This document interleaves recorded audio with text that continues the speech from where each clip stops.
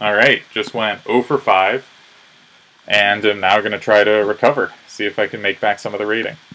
Uh, I'm going to try for a... Okay. D6 is not so good here, um, but I like to try to do things that get C3 Sicilian players out of their regular territory. And now we're back, I think, in an okay position. Um, often this ends up looking weirdly like a Ruy Lopez, because black goes for e5. Um, Maybe get the bishop out first. I'm just going to play e5. Try to pressure their center. Maybe rook e8, so ed4 has a threat. Okay, my knight on a5 looks actually pretty useful. c4 and b3 are potentially useful. Uh, now maybe go for the e4 pawn. Bring my rooks to the center. Uh, maybe get the queen to a8. So I guess I need to, uh,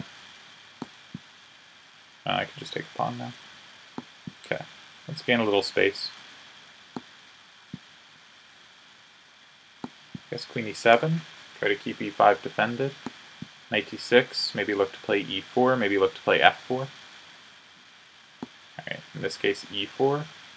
If bishop g7, ef3. Yeah, Okay. I think I get g2. Now we do risk the dreaded opposite bishops here. I'm going to try to gain some kingside space. Um.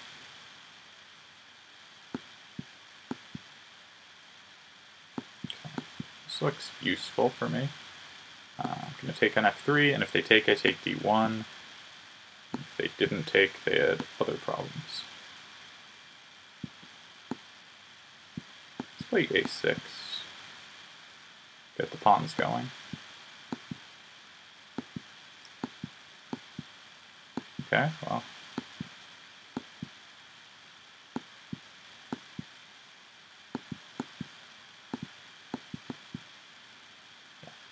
Okay, one for one. We've won a game. It's a miracle. Bullets hard. Alright, this guy beat up me in the last video. I think pretty soundly.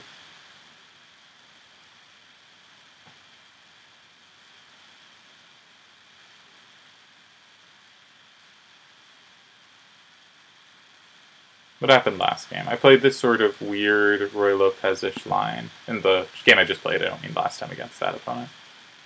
Um, against the C3 Sicilian. Uh, I like to play the exchange against the QGD. Um, I've been playing this... Right, I've been playing this um, line that I now won't get to play, so let's quickly move on and start thinking about the actual position. Uh, let's not allow knight b4. I want my bishop to come to d3 unpestered.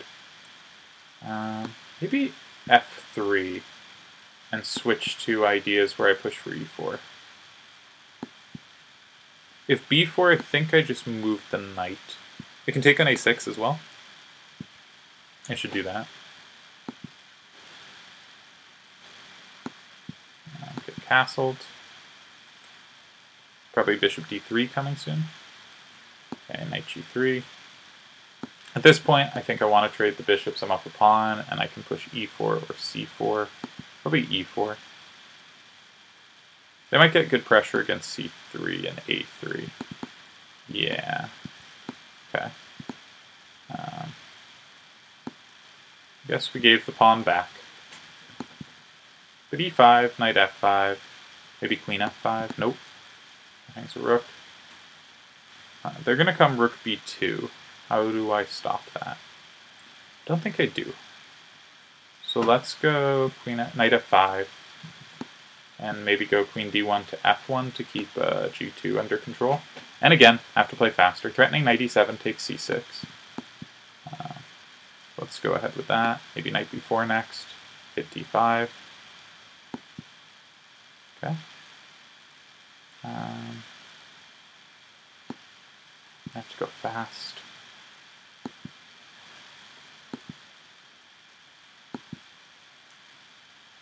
Yeah, this is uh, resignable.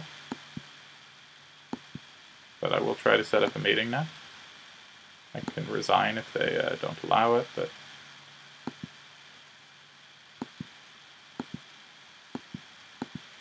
And we clocked them. Very suspicious. Alright. Two for two. Uh, given how badly I clocked every game last last time, I feel hmm, still probably bad form. Okay, I like e4 here. Um, now e5, and the knight does not have a good square. I can just take, and then play queen g4, and g7 is potentially weak. Now d4, maybe bishop g5 next. Um, yeah, let's insert bishop g5, see where they go. Maybe knight f3, maybe queen h4 coming. Maybe I should have just played queen h4. Let's try it this turn. There's a pin. If knight g6, I can take on d8, then take on h4. Um, okay, maybe bishop d3. They're still pinned. Alright, I'll come back.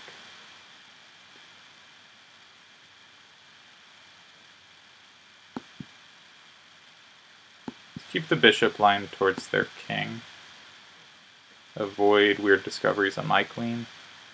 I'm not sure quite how I want to continue this. I would love if they took on e3. I feel that would open lines for me. Uh, maybe knight h4 will prove useful. Think about f4, f5. Uh, okay, they're going to open the file for me. Um, I guess the knight's not doing much over there. Maybe c4 next. Instead I'll hang a pawn. Um, Alright, definitely want to open lines now because of the blunders. Uh, look for uh, bishop takes d5 and knight f6 maybe sometimes. Um, do I want to? Let's try it. Does it do anything? maybe um, rook f1, if pawn takes, pawn takes, it's their queen and threatens queen g7. Um,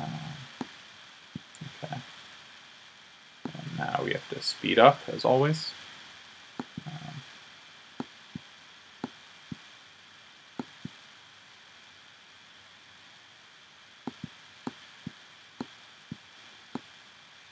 yeah, okay. Uh, the attack eventually got there, but it wasn't good. Where did I...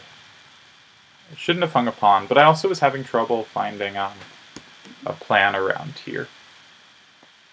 I'm curious what the computer says here. Alright, crushingly winning. Ah, rook f3 makes a lot of sense. Quickly double the rooks. Um, but rook takes f7, queen f2, another way to hit f7. That makes sense. But rook takes f7, king takes f7. I should find this without that. I didn't see what they said. So queen g6, or rook f1, or bishop g6. Um, queen g6 looks like a good start because if they go to g8, I take on e6 and they're forced to the f file. If they go to f8, I get rook f1 free. Um, but probably actually just rook f1. No, because then I don't get on e6. e6. I was thinking queen g. All right, queen g6. If king e7, then this is mate. If um, king g8, then queen e6 and knight g6 is mate. So I believe they have to go to f8. And then just rook e1, rook f1. So this is just mate? Ah, they can block with a lot of stuff and lose everything. Okay. Alright, so didn't find rook f7. That would have been a real cool move to uncork. Just rook f7, I have all the pieces. Now I have to blow open your king's cover. Didn't consider it at all. Uh, I think we're up to... What am I on? checking out the games we played. Uh, we're on three for three this video. Cool. Gotta go fast. Alright. Uh, I pre-move knight c3, which allows this stuff to happen, and my position's pretty terrible. Um, f4 looks good. But this, at least I get to conclude development without, like, collapsing my position.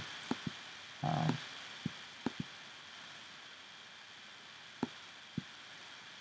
I don't know. This could certainly be worse. Look for e5.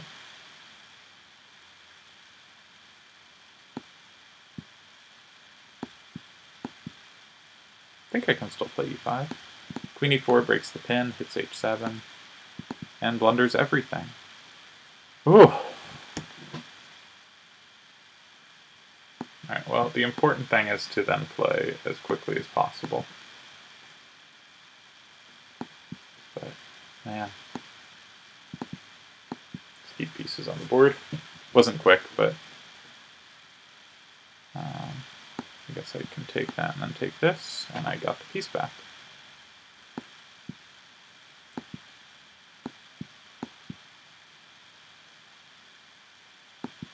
Still super busted. Ah, that, that doesn't work at all. Okay. Uh, terrible, terrible game. Uh, three for four. Yeah. So, I pre-move knight c3, and after d4 I get some problems. I should figure out still something to do there that's better than the, uh, the calamity that promptly ensued. But, okay. Um, e5 here is an interesting move. Um, my points to play d6, try to have a, uh, a clamp on the center. Maybe bishop g4 is strong next. I think they should play h3. They didn't. Should I be scared? I'm to say no. Ah. may have had problems with this before recently. Okay. Let's come back, try to defend f7. But this attack is surprisingly strong.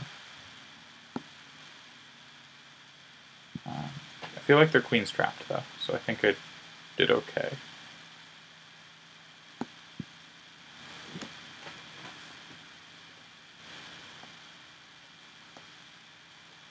I should definitely uh, go back and look at this one particularly. I'm uh, gonna try to trade pieces now. And when I they don't trade, I get to move forward with tempo. So maybe come queen h, uh, not queen h4, but you know somewhere forward next, queen g5. Um, can I just take that? All right, uh, four for five. Pretty bad game in the middle. Let's uh, let's look at this because uh, I'm curious in that opening. So I like e5, um, d6, just solidify my big center. Knight f6 looked logical, bishop e7 looks very logical. And now knight g5 here. It seems like white shouldn't have enough attacking pieces. They have two. And if when I play h6 they play knight f3, I assumed bishop g4 was really annoying for them. I guess they might have time for h3 if they're committed to going g4, but that seemed worrisome for them. But they just went for f4. And I took, took, and I assumed bishop g4 was a good inclusion, or I assumed knight g4 was the best square, and that bishop g4 would not be a useful inclusion, because now I have to worry about both these pieces. So how am I defending? I guess if queen h4, they don't have g6. So what if they throw in g6 immediately? Then I have bishop e6, and they don't have queen h4. So actually, yeah, so I was really worried here, like, because if I go knight e8 here, they can play a queen h5 and g6, and I can't really do much. And if I play similar bishop e6, they can play g6 anyway, because if I take, then the bishop's hanging, and that's mate. So that collapses. So I didn't want to play knight e8.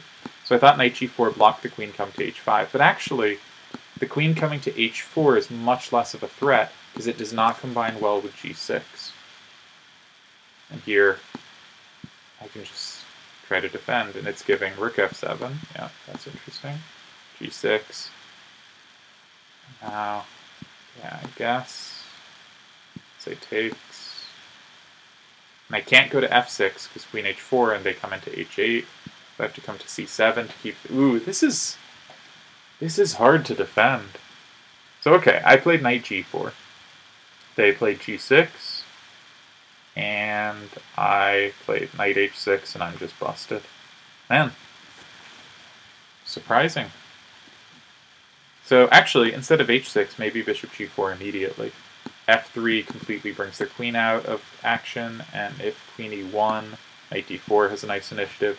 So yeah, so I should not necessarily just hit the knight away immediately. One thing I like about this is the bishop can potentially defend the weak square. Okay, uh, went four for five. Was scary, but ugh,